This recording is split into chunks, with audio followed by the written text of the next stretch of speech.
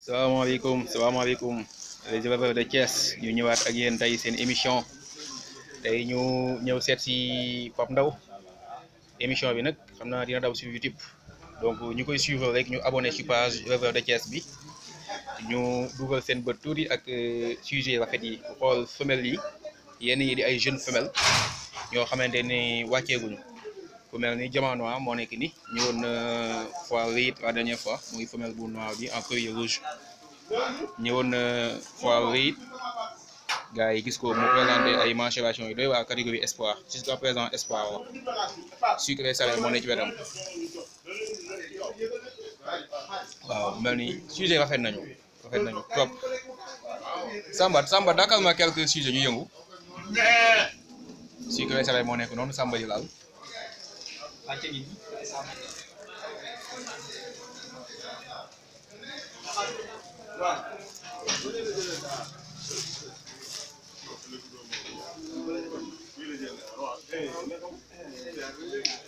léegi femelle yi ak mbote yi macha allah doy nañu waar doy nañu waar dox nañu bu baax a baax a baax a baax baax par rapport ak bi ñu fi mujj gis nañu que ni xar yi màggaat nañu ci wet surtout ci wet mais auteur bi waxatuñ ko macha allah c'est très remarquable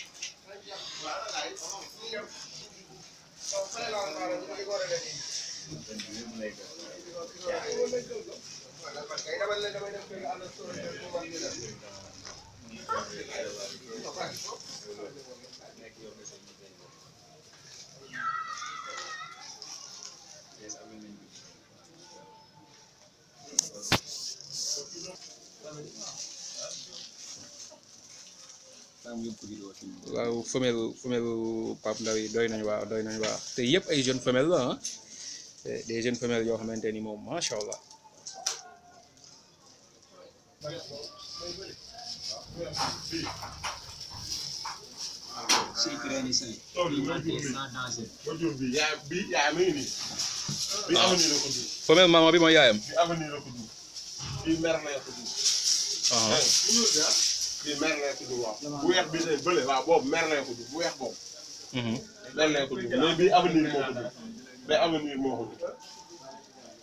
kii ak kii ñoo bokk yaay quoi. femelle bi fu mu bokk femelle waa maman bi femelle mag bi. boobu boobu moo moo kii bokk yaay. ok mooy mooy na boobu turam. waaw gars yi ba tey ba tey ñu ñëw si deuxième box Pape Ndaw ñu fekk fi nag un un mâle boo xamante ni dootuñu ko présenté muy coow li coow li coow li coow li adam passé adam passé ñëpp xam nañ ko yaay ma ñu. waaw femelle bi mooy yaayam waaw mooy bi ñu jëloon ci Diop moo ko jur. Diop Blanger ah waaw Diop laa waaw. waaw merci xarim am na solo am na solo moom xarim am na solo coow li moom ñëpp xam nañ ko moo jëloon deuxième adam passé catégorie espoir devia first choice waaw yaay ma nekk nii yaakaar naa bii taxaw rakkam la waaw jeune mâle bi taxaw rakkam la non jeune femelle plutôt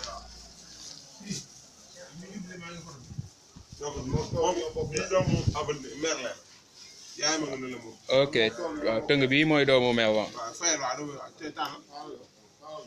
pap kii xaadim femelle bee ci ginnaaw ok mooy recrue bi ñu dégg ok ok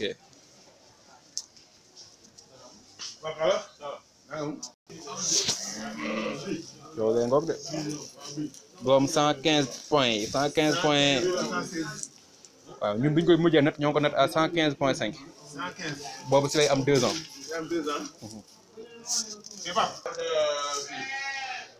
foofu maanaam boobu waaw mu mel ni kii mooy kii mooy Pape Ndaw numéro 2 kii moom gars yi xam nañ ko waaw mais waxal Xaadim mu ñëw mu ñëw présenté ñu beneen jeune ma- jeune mâle bi nekk ak Pape Ndaw